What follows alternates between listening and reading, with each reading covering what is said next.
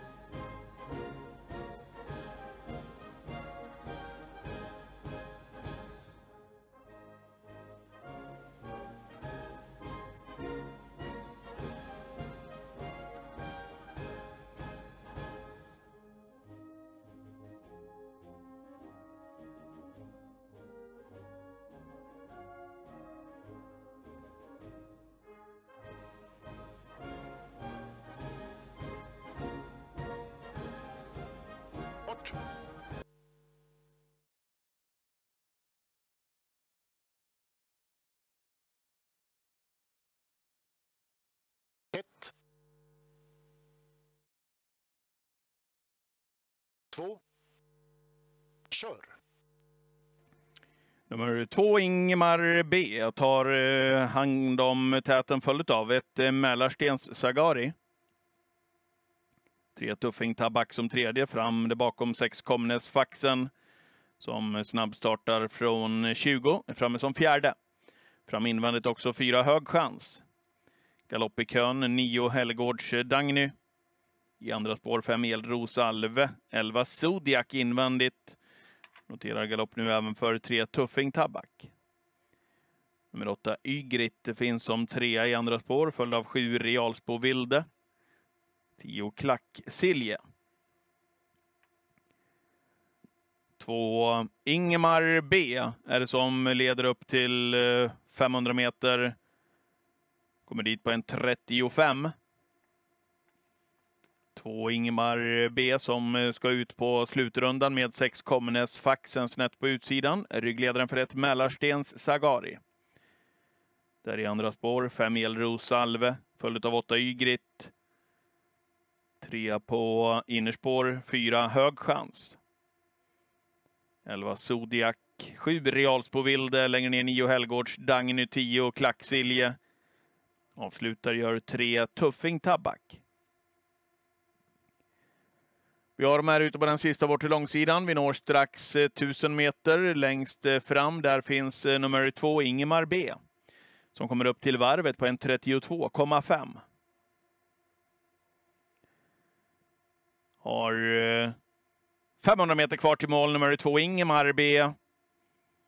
Med sex Komnes Faxen på utsidan.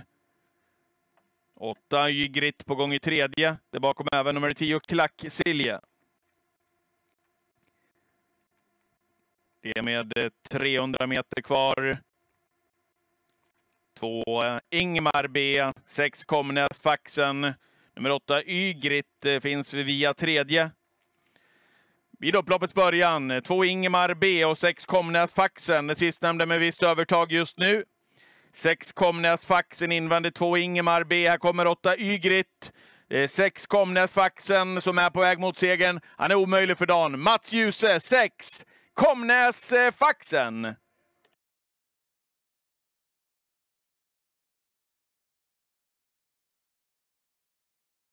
V32, här segrade nummer 6 Komnäsfaxen och Mats Djuse. 2, nummer 8 Ygritt och eh, 3, nummer 2 Ingemar B. Ordningsföljden 6-8.